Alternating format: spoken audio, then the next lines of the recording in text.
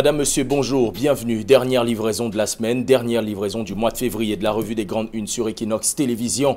Si vous nous recevez à l'instant, vous êtes au bon endroit, au bon moment. Bienvenue au cœur du programme qui fait la part belle au traitement de l'actualité tel que paru au sein de la presse écrite durant la journée. Je vous invite à cet effet à vous installer confortablement et à parcourir avec nous les titres sélectionnés par notre rédaction centrale qui constitueront l'ossature de cette autre livraison de la revue des grandes unes. Nous parlerons en première thématique d'émission de cette fameuse opération craie morte envers et contre tout.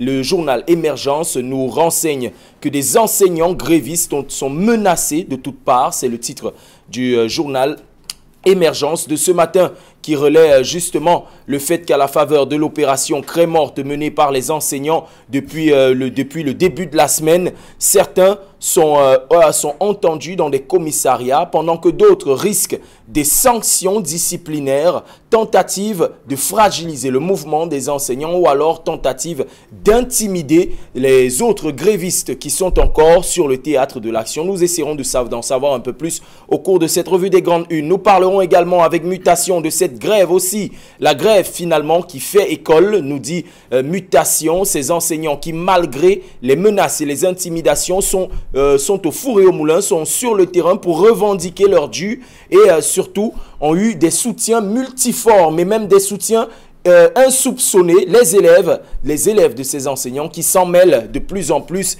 et revendiquent une amélioration qualitative du, du mode de vie de euh, leurs différents enseignants. Nous essaierons de comprendre jusqu'où peut aller ces revendications aujourd'hui, tenir bon aujourd'hui ou se taire à jamais.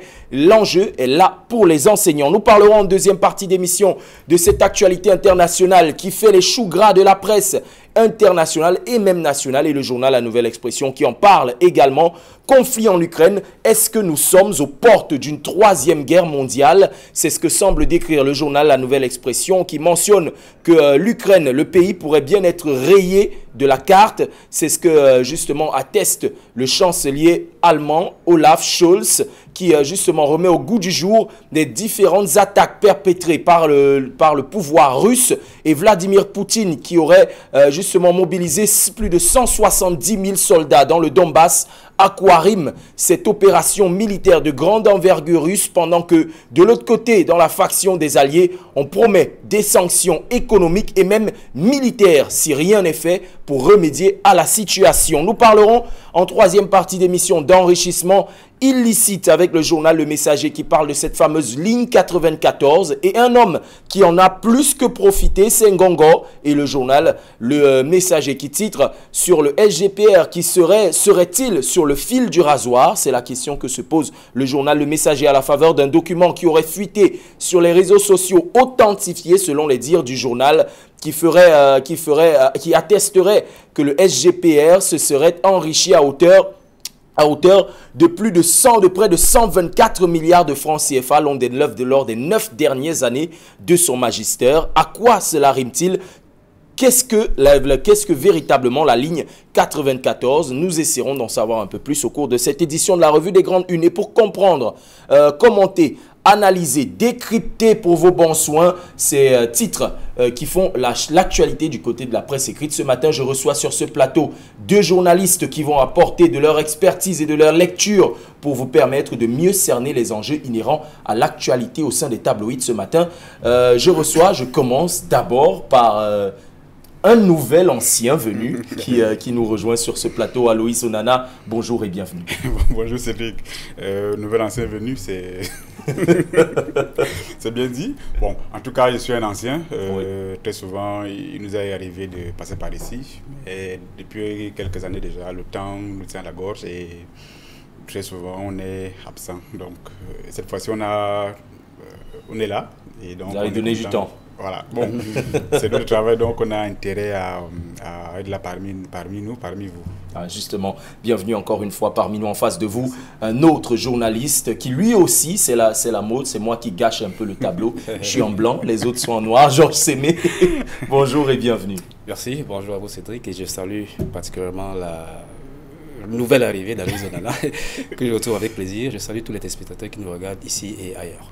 justement, messieurs, nous entrons dans le vif du sujet avec cette fameuse opération Cré-Morte qui est euh, lancée par les enseignants depuis le début de la semaine. Cessation d'activité totale à l'heure où le gouvernement a rencontré certains leaders de syndicaux, des enseignants, d'autres qui ont décidé de maintenir le mot d'ordre de grève, nous dit les journaux, sont euh, victimes de menaces tous azimuts. Aujourd'hui, à Loïs Onana, euh, nous sommes à la croisée des chemins pour les enseignants.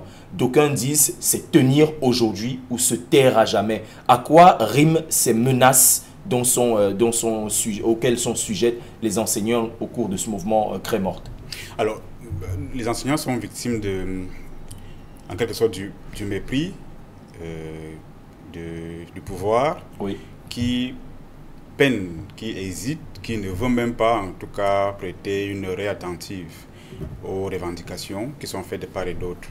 Au lieu de prêter, c'est vrai qu'il y a eu une réunion que vous évoquez à la prémature, mais au terme, on n'a pas eu de résolution forte qui ait pu euh, convaincre les enseignants qui ont jugé utile, n'est-ce pas, de, de continuer. Quand je parle de fermer, de faire la sourde c'est que, euh, contrairement aux actions qu'on mène lorsqu'il faut peut-être organiser la canne, on est prêt à mobiliser les fonds, on est prêt à faire des pieds et les mains pour trouver une solution à un cas qu'on trouve urgent. Pour les enseignants, on a le sentiment que en haut, on se dit, ben, bon, voilà, non que la craie. La poudre de craie ne fait de mal à personne, contrairement à celui qui porte une arme ou encore qui peut boycotter un, match qui est attendu par des millions de personnes. Et donc, c'est cette lecture à deux niveaux qui, fait que euh, on ait tendance à, à négliger des enseignants. Alors, pour mieux les, les, euh, intimider, on passe donc par euh, des menaces que vous évoquiez, qui, à mon avis, n'apportent pas grand-chose comme solution. Vous avez évoqué les élèves qui sont en train de soutenir leurs enseignants, comme quoi ils, voudraient que ceux qui sont en charge de l'éducation soient traités décemment, ce qui n'est pas encore le cas. Lorsqu'on regarde un peu comment l'enseignant est traité ailleurs, on a souvent tendance à nous faire le reproche de de mettre sur le même plateau et, la Côte d'Ivoire et le Cameroun, ou encore même d'autres pays comme le Zimbabwe, on a le sentiment qu'au Cameroun, l'enseignant est... Entre guillemets, clochardisé. Carrément. Ce qui est pratiquement, euh, j'ai failli dire normal, mais il faut encore trouver un mot plus fort qui atteste que l'enseignant chez nous a le droit, mérite d'être encore hautement reconsidéré. Ce n'est pas encore le cas aujourd'hui et c'est malheureux de le souligner. Justement, que cache ces, tentatives d'intimidation dont sont victimes les, enseignants aujourd'hui, alors qu'on sait que certains ont opté pour euh, cesser le mouvement de grève et continuer les négociations avec le gouvernement? Alors, à mon avis, il, il, est, question de fragiliser le mouvement, euh, créer entre enseignants des dissensions qui vont amener à, à, la réduction du mouvement et à son annulation, si vous voulez. Donc, qu'est-ce qu'on fait? On intimide, on menace et à la fin, il n'est pas exclu que quand on donne de, l'argent à certains qui, vont, qui pourraient être tentés de reprendre les cours au détriment des autres. Et très souvent, on a souvent vu cela. C'est-à-dire, lorsqu'il y a un mouvement, euh, on vient au sein de celui-ci et on crée deux, et on crée deux camps. Un camp est satisfait, l'autre et l'autre ne l'est pas. Et du coup, ceux qui, sont, euh, qui continuent avec le mouvement sont presque obligés à la longue de s'aligner. Et donc, Aujourd'hui, on est encore au niveau des intimidations et des menaces pour fragiliser, mais il n'est pas exclu que demain, que certains aient accès au fond et reprennent carrément les cours, tandis que d'autres euh, ne l'auront pas et ils seront obligés, n'est-ce pas, de, s'aligner. Oui, justement. Euh, Georges Sémé, par rapport à cette actualité qui aujourd'hui euh, extrêmement sur les réseaux sociaux. On a vu des publications d'artistes qui apportent leur soutien aux enseignants, d'élèves même qui aujourd'hui soutiennent leurs enseignants dans leur mouvement. Est-ce qu'on peut s'attendre à travers ces soutiens multiformes à, un prolongement du mouvement de grève des enseignants au Cameroun? Alors, la grève est en cours. Et lorsqu'on lance un mouvement de grève, euh, on nous euh, donne juste la date du démarrage, mais on ne nous donne pas la date de la fin. La grève est toujours en cours et il faut quand même dire que euh, les mêmes causes produisent les mêmes effets parce que ce n'est pas la première fois que les, un syndicat d'enseignants lance un mouvement de grève euh, au, Cameroun. Le dernier en date a eu lieu, je crois, en 2019, 2019 où quasiment les mêmes revendications qui sont posées aujourd'hui euh, était déjà posée il y, a, il y, a, deux ans. On va revenir sur les plus anciennes. Par exemple, la mise en œuvre du statut particulier de l'enseignant. Je crois que ça fait partie des revendications qui ont été formulées par euh, ce mouvement qui a été baptisé On a trop souffert aujourd'hui. On, on, a trop supporté. On a trop supporté, voilà. Et qui concerne essentiellement les enseignants du, du, secondaire. Il y a la mise sur pied euh, du statut particulier de l'enseignant. Mais il y a également l'informatisation du système d'avancement des carrières qui oui. est également une ancienne revendication qui avait déjà été Justement, il y en a qui ont passé 15 20 ans voilà. sans avancement. Et ça donne, ça donne euh, des... Ça fait que dans la graduation des emplois ou alors des, des, carrières, il y a des dysfonctionnements et des anomalies. C'est la raison pour laquelle, cette année encore, comme en 2019, ils ont donc demandé que ce, euh, ce procédé, ce processus soit informatisé. Mais il y a également les compléments de salaire, qui sont des vieilles revendications qui ont été souvent oui, posées par les syndicats. syndicats. Le syndicat, les syndicats qui réclament 152 milliards. Au Effectivement. Donc, ce sont des revendications qui sont connues depuis par le gouvernement, que ce soit euh, la plus haute hiérarchie, la primature, la présidente de la République même, mais également le ministère de tutelle en l'occurrence actuellement le ministère des enseignements secondaires. Ce sont des revendications qui sont connues. Alors, il y a eu ajouté une nouvelle revendication qui est le paiement des primes de correction de, de, de, de des épreuves d'examen. Des épreuves probatoires et bac de 2021. Oui. Nous sommes en 2022 et la rentrée scolaire a déjà commencé et ils n'ont pas encore perçu ces primes-là qui devraient en réalité être des primes directes, juste décaissées lorsque la prestation a été fournie. On oui. en est en 2022 et ils n'ont pas encore passé. On est, à, on est aux portes des prochaines que, éditions des examens, prochaines Exactement. Sessions. Donc je crois que ces revendications qui ont été formulées sont des revendications pertinentes. Elles portent non seulement sur la carrière de fonctionnaire de ces enseignants, mais également dans l'exécution même de leur, de, leur, de leur fonction dans les établissements scolaires. Parce que oui. quand on parle de primes de correction des examens, je crois que quand même, c'est budgétisé selon un certain, dans un certain temps. Et il devrait, ces primes devraient être payées lorsque la prestation a été fournie. Mais malheureusement, ce n'est pas le cas et on en est encore à ce qu'on tergiverse sur le paiement. Aujourd'hui, donc, on parle d'un mouvement à deux vitesses. Une partie de ces enseignants sont des irréductibles et légitimement irréductible parce qu'ils euh, revendiquent quelque chose de légitime. Oui. Mais il y en a certains qui ont pensé qui ont décidé de danser sur la musique du gouvernement parce que euh, ils ont eu des pourparlers avec le gouvernement et ils ont reçu certains engagements qui ont fait qu'ils n'ont pas suivi cette majorité aujourd'hui qui estime que les revendications qui sont posées sont légitimes et qu'il fa, qu faille poursuivre la grève. Donc, on est dans un mouvement à deux vitesses et pour répondre à votre question, je crois que euh, les prochains jours seront extrêmement décisifs et on espère que le gouvernement, au lieu de passer au bâton, manipule plutôt la carotte et installe l'apaisement en accédant au moins aux revendications, partiellement au moins aux Ah, revendications posées par, même, par ces euh, grévistes. oui. À défaut, en créant une plateforme de dialogue entre, entre toutes ces personnes. C'est vrai qu'il y a eu des réunions, des réunions, mais euh, elles ont donné quoi? Rien du tout.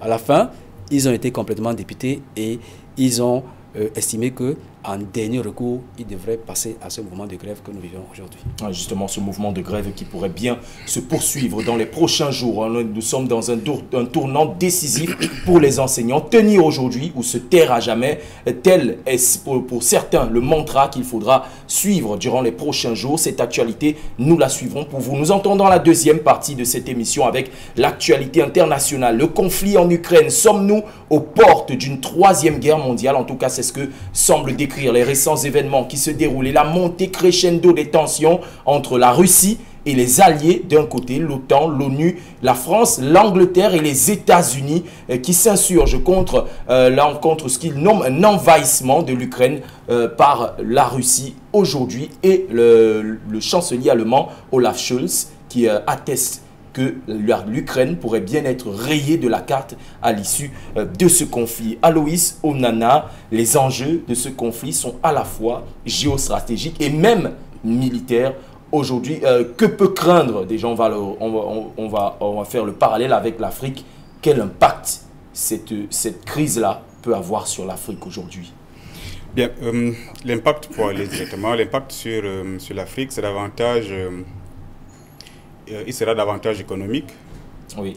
et peut-être euh, aussi diplomatique, mais davantage euh, économique parce que nous dépendons, pour nous, par, exemple au Cameroun, nous dépendons énormément de, de la Russie en termes de, de blé. C'est de là que provient très souvent euh, le, le- le blé que nous consommons.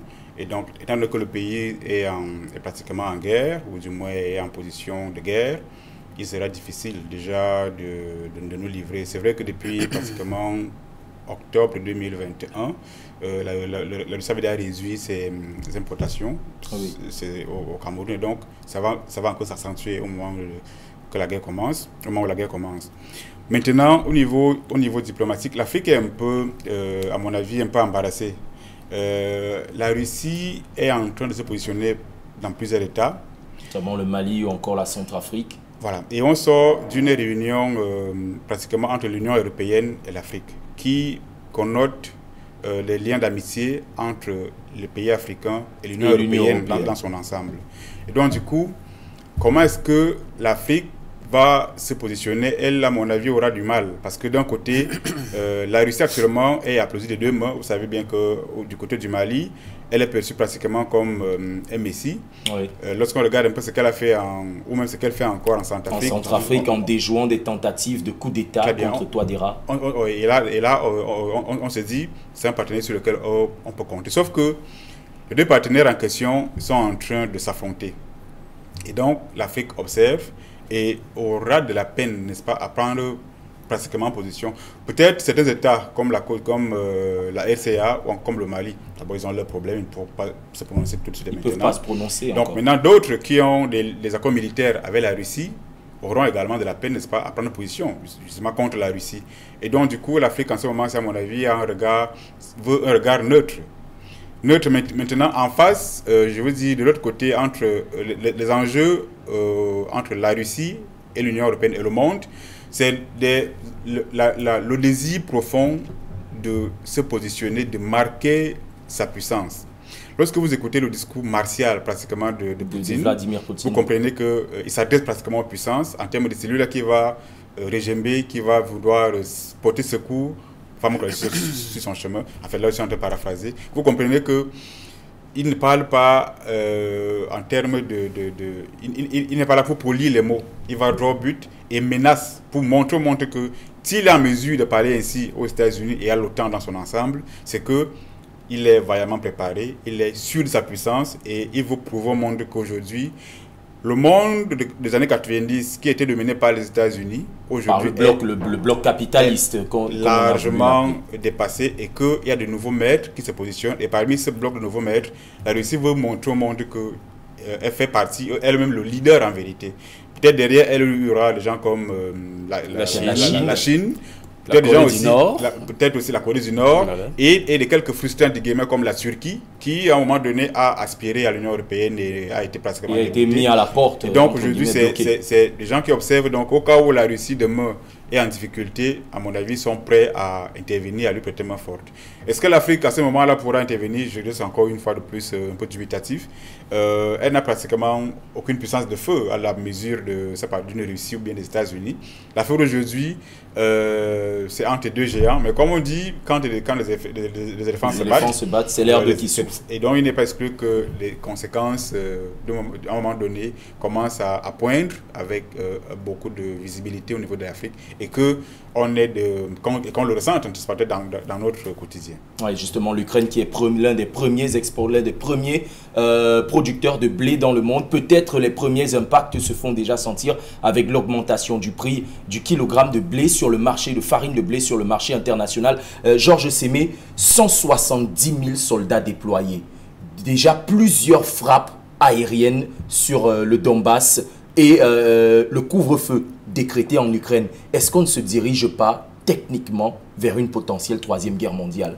Alors, il serait trop tôt de se prononcer en faveur d'une troisième guerre mondiale parce que euh, c'est vrai qu'il y a des similitudes en termes de signaux entre les deux précédentes guerres mondiales, mais en l'état actuel des, données militaires, on ne peut pas encore s'aventurer à dire qu'on euh, est en train d'aller vers une troisième guerre mondiale. Mais la situation est suffisamment grave pour être, pour être déplorée aujourd'hui, mais également pour avoir des suspicions euh, sur la contagion mondiale d'une telle envolée, envolée militaire. Euh, alors, il a dit euh, des choses extrêmement importantes tout à l'heure. D'abord, je vais dire une ou deux choses sur l'implication de l'Afrique, l'Afrique dans ce conflit. encore hier, il y a eu deux positions africaines, l'une qui venait de l'Union africaine et une autre qui venait de l'Afrique du Sud.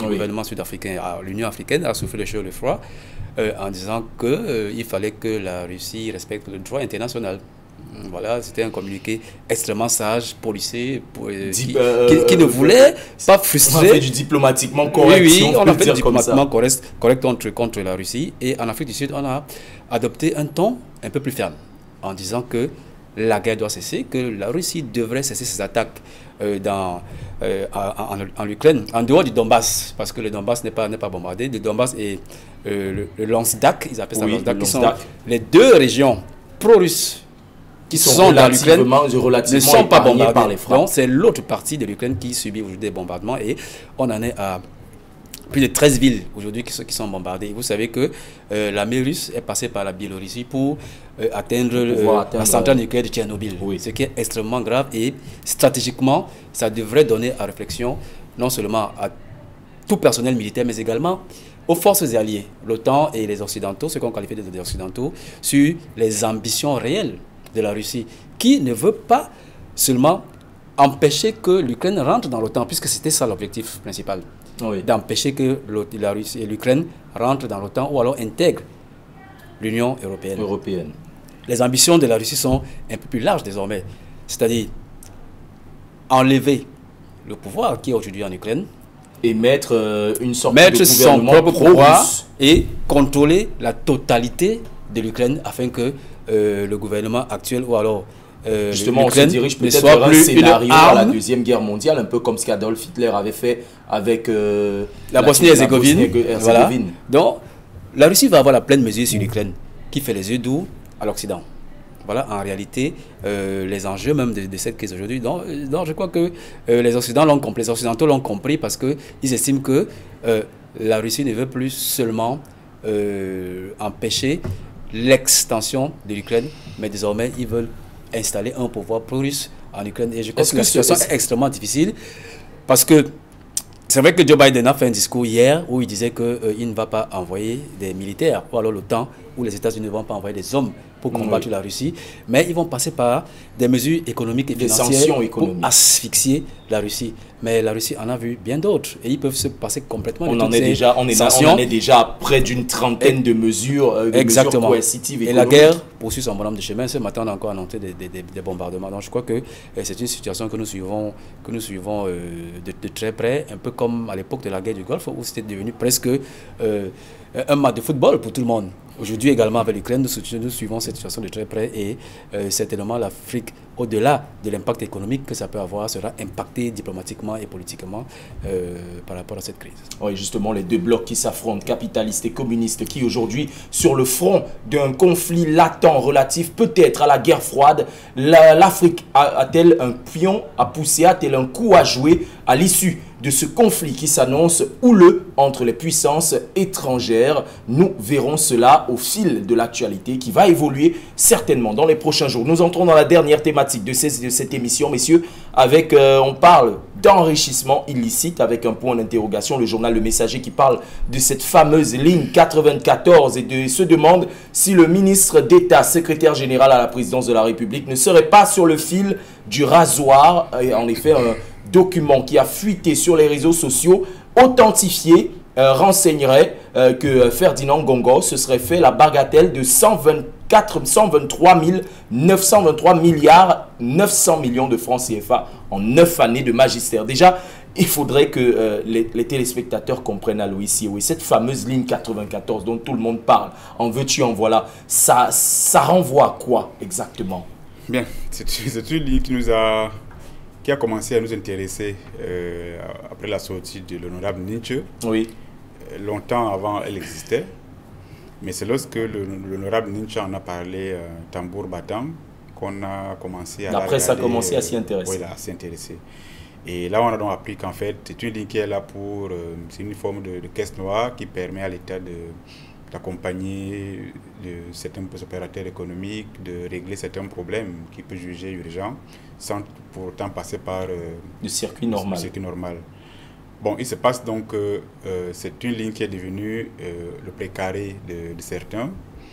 Au début, il y a le nom d'un homme de médias, d'un patron de presse qui avait d'abord fuité, c'était Jean-Pierre Amouro On pensait qu'on était, était encore au niveau de Jean-Pierre Amouro qu'aujourd'hui, on est, euh, on a en face de nous le cas euh, Ferdinand Gongo, qui s'avère être non pas un opérateur économique, parce que lorsqu'on a évoqué le cas Jean-Pierre Mougoubilinga, il vous souvient que le ministre des Finances, face aux députés, avait pratiquement salué euh, la, puissance, l'esprit entrepreneurial de Jean-Pierre Mougoubilinga, en disant qu'il avait réussi même à acheter une télévision en Europe. Bref, il le félicitait et tout le monde s'est dit, bon voilà, si ce n'est que pour accompagner les, certains les champions, les champions, les champions nationaux. Alors, mais là où ça commence un peu à, à pratiquer, c'est lorsque c'est des, hommes politiques, des fonctionnaires, euh, placés qui commencent à, voir la mise. À piquer un tout petit peu dans la fameuse caisse noire. Un petit peu, parce qu'on peut le parler de ça. On essaye de relativiser. C'est 124 milliards quand même. Vraiment, ce cas-là, à mon avis, ayant, étant donc parti sur, là-bas, sur les déclarations de l'honorable Nietzsche, Partant sur le document qui a fuité, à mon avis, il serait de bon ton que l'ANIF, le CONSUP et autres instances publiques en charge des, des enquêtes financières se penchent résolument sur cette histoire afin qu'on sache qui fait quoi. La ligne en elle-même, à mon avis, n'est pas, n'est pas mauvaise. Vous savez, partout ailleurs dans le monde, les opérateurs économiques vont toujours aux côtés du pouvoir. et bénéficient d'un certain nombre de largesses. Exactement. Je prends souvent le cas d'un groupe qui me parle beaucoup, le groupe Olam, sans publicité. Le mot Olam veut dire en hébreu aller au-delà des frontières. Et pour aller au-delà des frontières, ces gens ont eu recours, ont eu besoin de l'accompagnement de leur État. Oui. Et c'était une chose connue de tout le monde. Mais sauf que chez nous, lorsqu'on dit, c'est lorsque des gens dénoncent qu'on apprend qu'il y a une ligne qui existe et qui est réservée à quelques élites seulement, à quelques têtes, à, à tête chercheuse. C'est là où il y a problème. Pourquoi euh, on ne peut pas accompagner tout le monde, même si j'ai suivi le Milfi dit qu'il y en avait qui avaient reçu plus que ça, plus que ce qu'on reprochait au patron d'un groupe de presse d'avoir reçu. Ce que moi je veux, c'est que qu'il y ait une enquête qui nous dit exactement, en dehors du président Gongo, qui d'autre Parce que quand même 1000 milliards, dit-on, qui serait euh, la, somme annuelle allouée à, cette, ligne 94. À, ligne, à quoi servent les 1000 milliards au cours de 12 mois, par exemple, au cours d'un exercice budgétaire? Ils vont où? Ils servent à quoi concrètement? Qui a accès à ces fonds, Il y a même encore eu un autre document qui a fuité, qui est arrivé à la présidence Samble-Sil et qui était adressé au EGPR lui disant que quelqu'un avait, un certain euh, vendeur avait pratiquement caporalisé euh, la, fameuse, la, fameuse liste et que chaque fois que le document arrivait, il fallait le, muter. Une fois arrivé Minfi, l'affaire était bloquée. Donc des éléments comme ça qui commencent à sortir, qui commencent à nous attirer, à nous, à nous, intéresser. Peut-être que lorsque, comme nous n'avons pas euh, des bras longs de jour comme de nuit, peut-être qu'il y en a certains qui peuvent donc, à leur niveau, aller creuser en profondeur pour savoir à quoi servent, où vont chaque année les 1000 milliards, alloués à la ligne 94. Et quelles sont les personnes qui ont accès à ces fonds à avoir accès En 10 ans, en 9 ans, comme on a réussi à, compter ce que Ferdinand Gongo a empoché en, en 9 ans, quand on nous dit un peu en 9 ans, quels sont les Camerounais qui ont eu accès à ces fonds? Oui. 1000 milliards, ce n'est pas 1000 francs CFA, encore, moins, encore, encore moins 100 euh, 000. C'est beaucoup d'argent. Et les Camerounais ont le devoir, l'obligation de savoir à quoi, où vont les fonds que chaque année ils mettent à la ligne 94. Oui, euh, Georges Sémé, 124 milliards de francs CFA de, euh, de la part du SGPR, 1000 milliards alloués à la ligne 94, des gens qui piquent entre guillemets à l'intérieur, gabégie financière ou détournement des fonds Alors, pour l'instant, on n'est que dans des présomptions, des supputations et, et on n'a pas encore les éléments fermes qui nous permettent de dire qu'il y a eu des détournement de fonds publics ou alors gabégie. Euh, il y a un certain nombre d'éléments qui ont été euh, publiés, certaines rédactions l'ont eu, mais également dans les réseaux sociaux où on a parlé euh, de la fameuse correspondance qui avait été adressée par un correspondant anonyme au président de la République, au président de la République où il faisait état de ce que un tout-puissant fonctionnaire, un tout-puissant fonctionnaire du ministère de l'économie, du plan de l'aménagement du territoire, euh, faisait sienne cette ligne 94 et il était protégé par d'autres euh, grands bonnets, grands bonnets de, de, notre, de notre République, en l'occurrence le ministre des Finances, qu'on ne cite plus, euh, mais également par le secrétaire général des services du Premier ministre, qui trafique l'influence afin que le gestionnaire de cette ligne 94 au ministère de l'économie fasse de cette ligne ce qu'il veut, donc attribue des, des fonds qu'il veut. Et euh, il y a une seconde correspondance qui est la suite de la première correspondance qui dénonçait euh, l'usage de cette ligne 94.